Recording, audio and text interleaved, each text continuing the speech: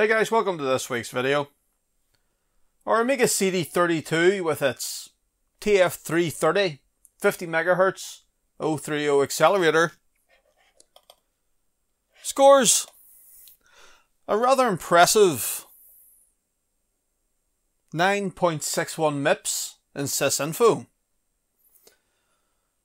But is that really the best we can do?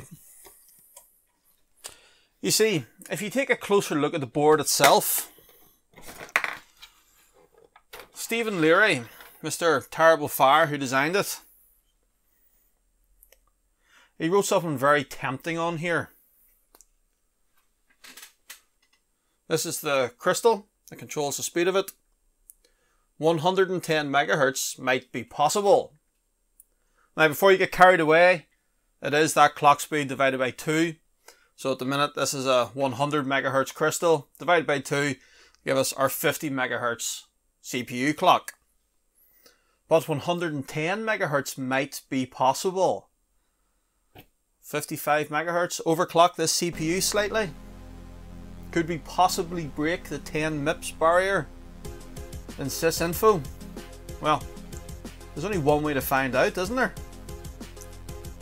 Let's try and overclock our TF330.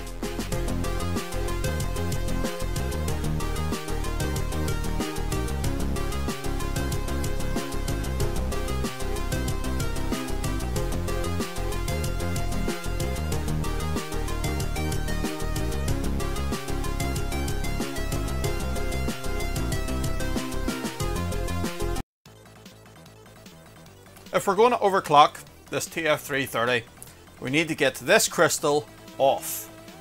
Now, before we jump into that, 110 megahertz. They do not make a 7 by 5 millimeter 110 megahertz crystal. If they do, I can't find it. I've been all over the world and the closest I can come to is 108 megahertz. I cannot find a 110 anywhere. So 55 megahertz is not going to be possible. We're going to be aiming for 54. And while we're at it, should we also try a 120 megahertz crystal and see if we can push this thing out to 60 megahertz.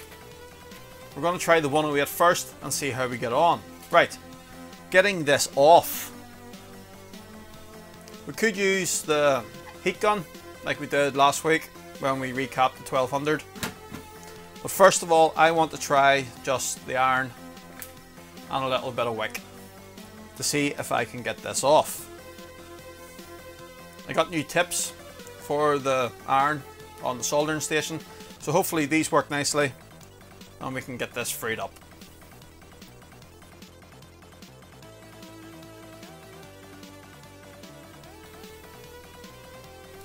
Well, I've sucked up as much of the solder as I can there. And unfortunately the crystal is still pretty well on there. So it looks like we are going to have to use the heat gun. So like before when we did the recap, plenty of this uh, high temperature tape.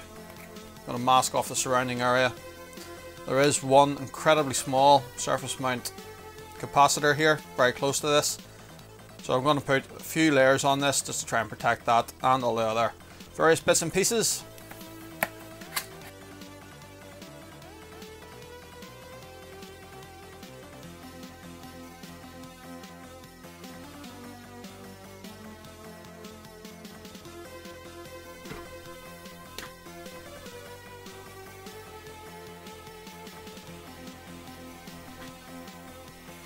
Right, let's see if we can get this off.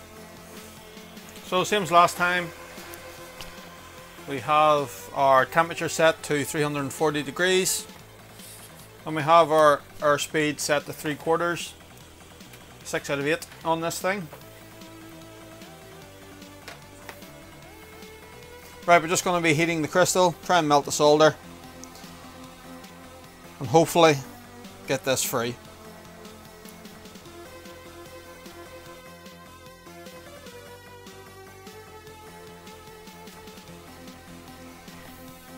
Alright, there we are. That's the old crystal off.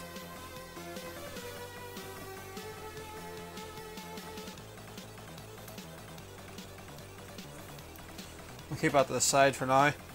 Keep it safe. Just burnt my finger.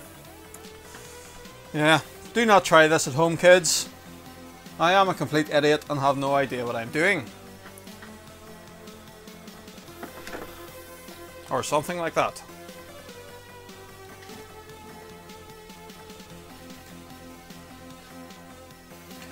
So we need to get the new crystal on. First of all, I'm just going to tidy up these pads a wee bit. Alright, let's just remove all this high temperature tape.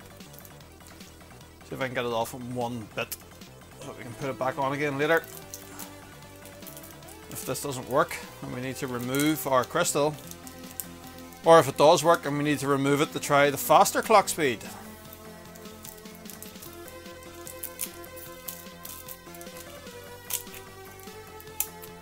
Ah, whatever. Doesn't matter. That stuff's cheap. We can always replace it. Right.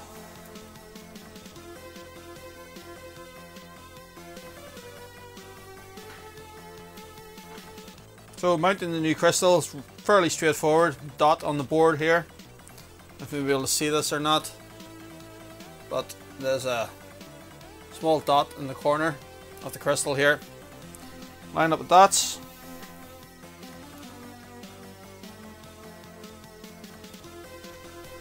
And that's it. Let's get it soldered on.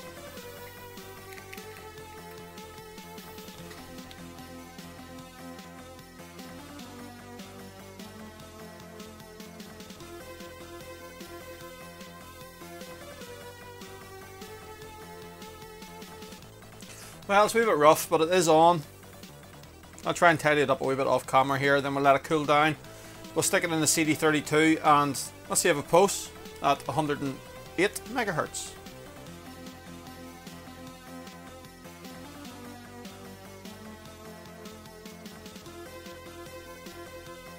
Okay, so we just have the base of the CD32 here now. I've removed the top section with the CD drive and all, just because I want to get plenty of ventilation around this. So it's nice and cool now. In fact, I was able to tidy it up. Looks pretty good now. If I do say so myself. Right. Let's see what it does. Is it going to post? Genuinely? I have not tried this. I have no idea what's going to happen. Come on.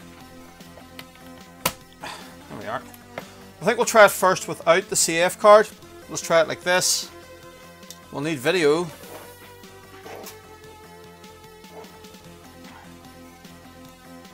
Right, let's see what happens.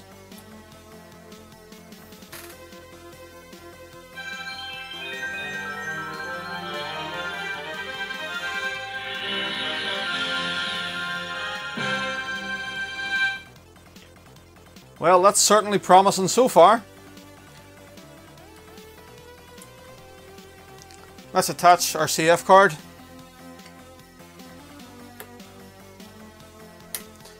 Let's see if she'll put on the workbench.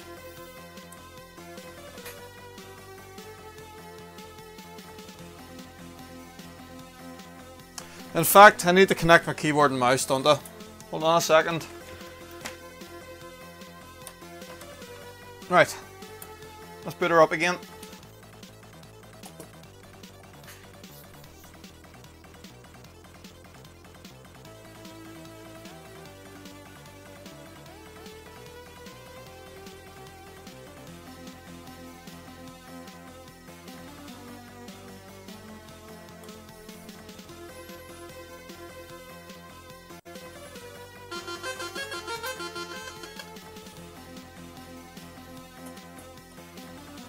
Everything seems to be working pretty good.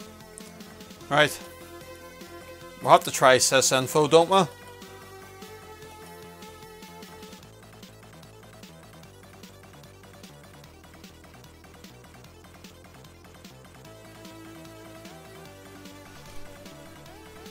yes! 10.38 MIPS. We have beaten the 10 MIPS barrier. It's now registering our CPU speed as 55.8 megahertz. We have successfully overclocked our TF330. Happy days. Wonder has it affected the drive speed at all? This was about 5.2 megabytes per second before. Let's see. 5.5 on the cusp of now. So yes, this is faster as well. Our machine is faster all around. I'm very, very pleased with this. We've broken the 10 MIPS barrier. Happy days. I'm over the moon with that. Right. Let's not celebrate too prematurely though. We do need to stress it for a wee while. So I'm going to load up. Let me see. What will it do? Have I got Frontier on this?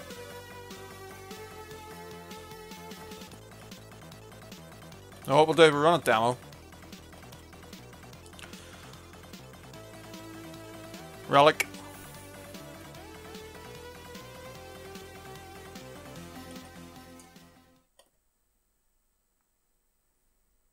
This should pretty much put it through its paces. I'm going to let this run. And let's see how it gets on.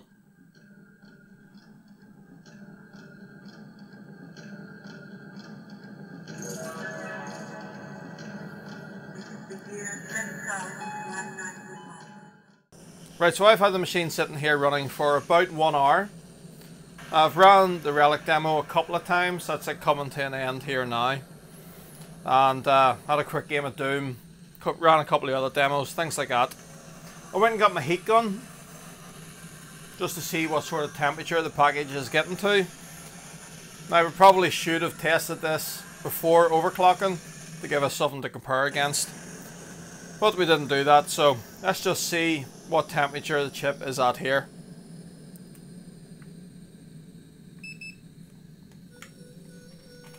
So we're sitting at about 40 degrees. And to be honest, that is pretty much the maximum temperature I have been able to record off this over the last hour or so. So I'm pretty happy that this is 100% stable at 108 megahertz even though SysInfo was reporting 55. And I think we can call that overclock a success. Right. We need to make a decision now if we are going to try the 120. That would take us up to 60 megahertz clock speed to be honest, just because this was so successful at the 108, I'm of two minds whether to try this or not. So, what I'm going to do is I'm going to put it to the vote in the comment section of this video. If you want me to try the 120 megahertz on the TF330, let me know below. Or if you think we should just leave well enough alone at the 108 megahertz and be happy with what we've got then I will leave it at that. Let's just have another quick look at sysinfo.